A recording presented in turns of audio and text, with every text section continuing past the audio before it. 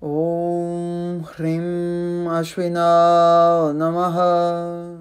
É, o nome famoso é Panchakarma, ok? No geral, as pessoas escutam Ayurveda, Vata Pitta e Kapha e Panchakarma.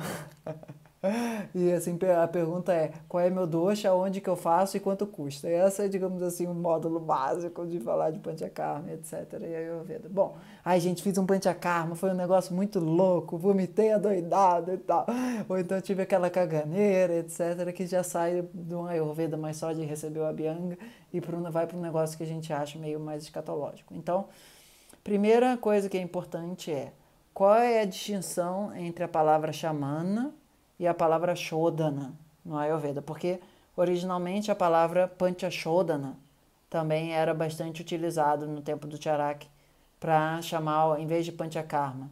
Porque uh, o que é a ideia é que existem situações no Ayurveda onde você simplesmente raspar a superfície não dá conta. O negócio está grudado lá no fundo e não está dando para funcionar. Quando você vai lavar a louça, e você esfrega a tua bolsa lá e você passa uma palha de alho, o que seja, aquilo ali é chamana, ok? É um nível, digamos assim, superficial que dá conta de tirar a sujeira. Quando você faz isso e aquela crosta tá lá que você tem que ferver com vinagre, tem que botar e raspar e não sei o que e tal, essa é a ideia de Shodana. Qual é a principal diferença entre um e outro? No caso do Xamana, Vata Pitta Kapha está num estado aonde o corpo consegue metabolizar aquilo, expulsar aquilo através das excretas. Então, quando a gente está com excesso de vata pitta kapha, o nosso corpo tenta cuspir isso fora, bumbum abaixo ou a boca acima, ok? Que são as duas vias de, digamos assim, entrada e saída que o nosso corpo tem, ok? Quando o corpo não é capaz de fazer isso, ele precisa jogar material para fora. Por exemplo, tem um vídeo que eu ainda não publiquei, mas vai lá. Uh, teve um momento que a gente teve uma intoxicação alimentar, aqui há duas semanas atrás. E aí eu estava uh, lá no banheiro, já meio que de diarreia, etc. O corpo tentando cuspir aquela intoxicação para fora, aquele cafa que estava muito podre lá dentro. E aí eu tava, ai, não quero vomitar, ai, que saco, vou ter que vomitar, ai, não quero vomitar. E de repente a minha boca começou a ficar cheia de saliva salgada. E aí não deu jeito, eu tive que abrir a porta lá do uh, box e vomitar dentro do box mesmo. Porque o corpo já não tinha capacidade de processar aquele café internamente e cuspir aquilo na forma de cocô, xixi, suor ou qualquer coisa que seja. Ele precisava vomitar aquilo. Ok? Então, o vômito é uma das formas que o corpo tem de purgar um excesso de cafa do nosso sistema. A diarreia, mas uma diarreia daquela bem líquida mesmo. Ela é uma das formas que o nosso corpo tem de purgar excesso de pita do nosso sistema. Ok? Isso no Ayurveda, no Panchakarma, vai ser chamado de é, Vamana, emese terapêutica, e uh, Viretina ou Vireka, uh, Vireka, que é a diarreia terapêutica. Ok? Tem vários detalhes sobre isso que eu não vou, digamos assim, entrar em todos neles agora, mas o vômito não é sempre CAF. O vômito é prioritariamente CAF. Tem uma frase lá que é basicamente o seguinte: você trata o CAFA, ele, ele entra por cima e sai por cima. O remédio que você dá para o CAFA, ele entra por cima e sai por cima. O remédio que você dá para o pita entra por cima e sai por baixo. O remédio que você dá para o vata entra por baixo e sai por baixo. Ok? Bom, que são os locais, mais ou menos, né? O, o estômago é mais cafa, relativamente, o intestino delgado é mais pita, relativamente, o intestino do grosso é mais vata, relativamente. Então, o ponto central é que tem vezes em que o corpo não consegue processar e vata suficientemente dentro dele e ele precisa jogar para fora, ele precisa explodir para fora. Então, no caso do uh, kapha vai ser o vamana, o caso do pita vai ser o viretna e o caso do vata vai ser o basti, que é, são os enemas, e aí é toda uma grande ciência no Ayurveda. O Charak diz que 50% do tratamento do Ayurveda é feito com basti. O resto é o resto. Então, assim, dos outros quatro que teoricamente existem, ah, que seria é, o Vamana, o Viretna, que a gente já falou, o Nasya, que é coisas para tratar da clavícula para cima, para tratar a mente, para tratar toda a otorrinolaringologia, etc. e tal. E também pode ser considerado um dos cinco ou não, a, o rompimento das veias.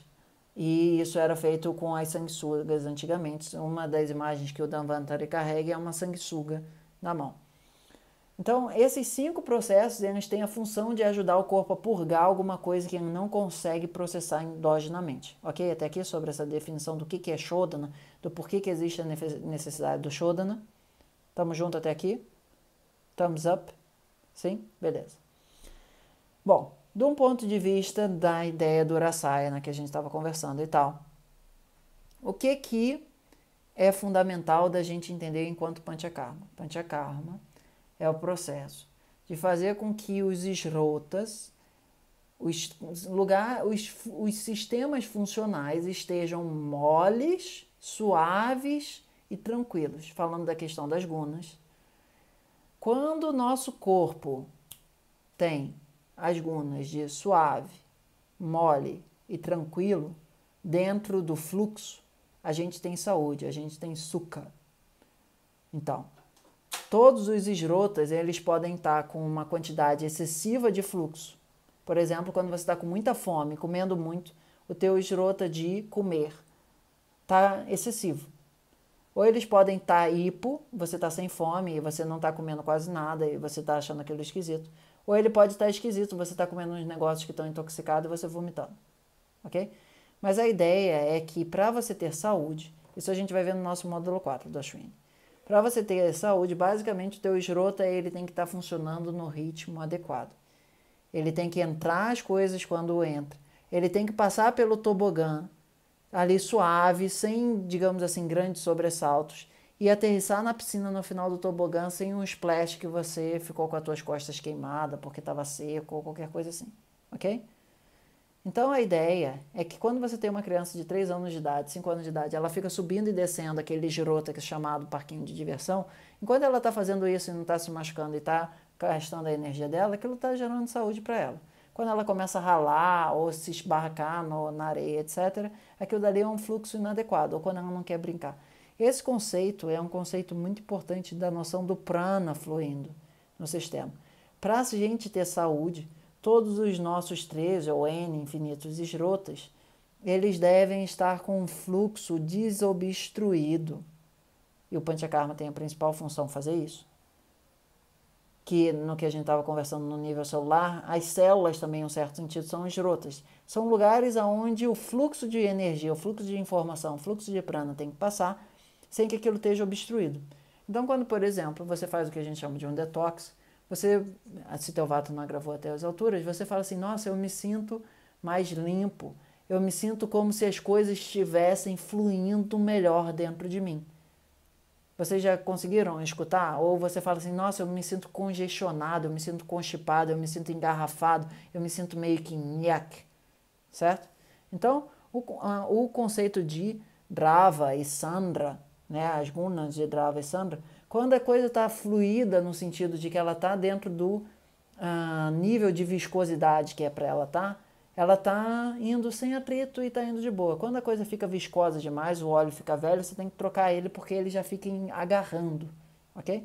Então, o objetivo do Panchakarma, nesse sentido que a gente está conversando, é muito mais do que só purgar Vata Pitta Kapha, porque, atenção, você pode fazer um Panchakarma não com a finalidade de purgar vata pitta kapha necessariamente do teu corpo, mas sim conseguir através de medicamentos mais potentes, poderosos, etc., gugula, shilajit, os com mercúrio, etc., fazer com que, por exemplo, no caso da minha mão, a minha mão ela não tem um agravamento de vata per se como a principal questão.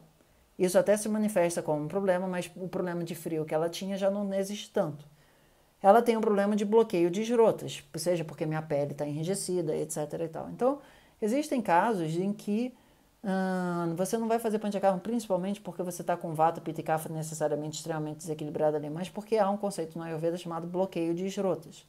o funcionamento fisiológico daquele sistema está engarrafado. Você pode ter engarrafamento de dois tipos. Um engarrafamento é porque tem um monte de carro na tua frente, ok? E outro engarrafamento é porque o sinal não está abrindo. São dois engarrafamentos completamente diferentes. Vocês conseguem ver a diferença de ter muito carro ou não ter muito carro, certo? Um é por bloqueio de esrotas, porque você está com aquilo dali entupido, no geral vai ter ama ou talvez cafo, mas principalmente ama, entupindo de carro na tua frente. E outro pode ser porque o sinal não esteja funcionando direito, o vata não esteja abrindo e fechando aquele sistema adequadamente. De qualquer forma, a ideia é que você deve fluir no teu sistema sem engarrafamento, ok? Então, quando você tem esse conceito de que os esrotas eles estão macios, eles estão plásticos no sentido de que eles conseguem aumentar e diminuir. Eles estão revestidos. Eles estão cafinhas, mas eles estão cafinhas com buraco no meio, no sentido de que o fluxo está adequado e ao redor dele está tudo bem lubrificado. Ok? Isso é o conceito de que você se sente bem. Sukha, ah, muitas vezes é traduzido como espaço adequado, su, adequado e ka, espaço, mas o nosso professor de sânscrito uma vez já falou que esse sukha tem a ver com suti, com um buraco. Quando todos os teus poros estão desentupidos, você está ah, num estado de paz. ok? Você está num estado de limpeza. E a ideia é, como a gente estava conversando antes, quando você vai fazer o Rasayana e quando você vai fazer o Vadkarana, a terapia que é chamada de rejuvenescimento e virilização que seja, isso que a gente está querendo dar para as pessoas são coisas que devem chegar nesses microporos de maneira em que todo o teu sistema rejuvenesça. Por isso que é muito importante o Panchakarma antes de você fazer essas terapias é, de aumento da longevidade, ok? Só que hum, esse processo, originalmente, ele era feito uh, no sentido de que a cada estação existia um momento onde era mais fácil de purgar algo. No momento onde o Vata estava mais estressado, a gente fazia um programa de baixa, etc. No momento onde o Kapha estava mais estressado, a gente fazia um programa de Vamana, etc., se fosse o caso. Não necessariamente todo mundo precisa fazer os cinco karmas ou os cinco shodanas, etc. Ah, no momento onde o Pita estava mais estressado, você fazia o Viretna. Por enquanto eu estou pulando a questão das estações aqui, porque senão pode ficar muito confuso. Mas a ideia original do Charak, etc., é que esses programas de Shodana eram feitos ao longo do ano. Depois de um tempo, com o processo de hospitalização do Ayurveda, o conceito de Panchakarma virou algo do tipo: primeiro, se a pessoa precisar tratar Kapha, ela via de regra vai fazer o Vamana. Aí vai ficar um tempo descansando. Se ela precisar tratar Pita, ela vai fazer o, o Viretna. Depois, se ela precisar tratar o vata, no geral todo mundo precisa, ela vai fazer um programa de baixo. Então, esse processo que a gente hoje em dia chama de panchakarma, que é você faz pelo menos um ou dois ou três desses, e aí depois disso faz o nasya, que é os do, da cabeça, etc. e tal. Uh, esse processo ele foi uma segunda visão do panchakarma no Ayurveda, onde ele passou a, a ser chamado mais de panchakarma e deixou de ser chamado de panchashodana. Na época do Charaka, enquanto ainda era Panchashodana, não existia essa ideia de você fazer antes tanto em sequencial, porque isso desgasta bastante o corpo. É muito difícil para a fisiologia humana aguentar cinco, duas, três, quatro porradas, porradas diretas assim. Então, por isso que isso também tem muito a ver com o nome Panchakarma, ao invés do nome Panchashodana. Mas do ponto de vista do Rasayana, que a gente está falando de rejuvenescimento, e do Vadkarana, ah, muitas vezes é melhor a pessoa fazer um programa de Panchashodana no ano, basicamente.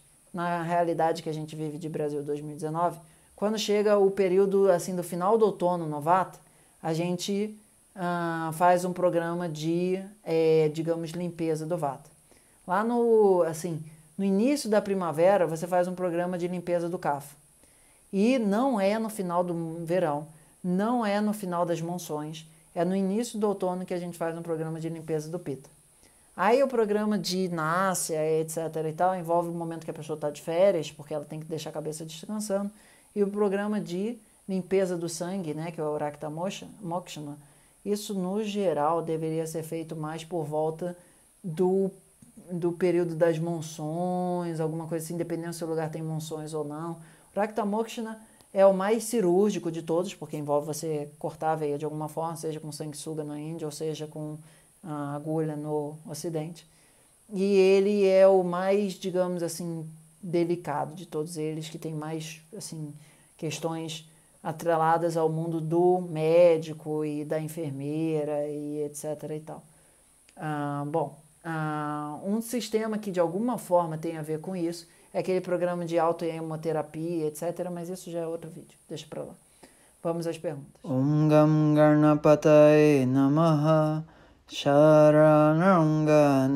Quer receber nossas notificações gratuitamente? Aperta aí o sininho, mantenha ele ligado e Namastê! Para cursos e palestras, visite namasteiraças.com.br. Quer marcar a sua sessão? Escreve para thiagonamastê.gmail.com que te respondo por lá. Namastê! Shanti, Shanti, Shanti, Hari Om.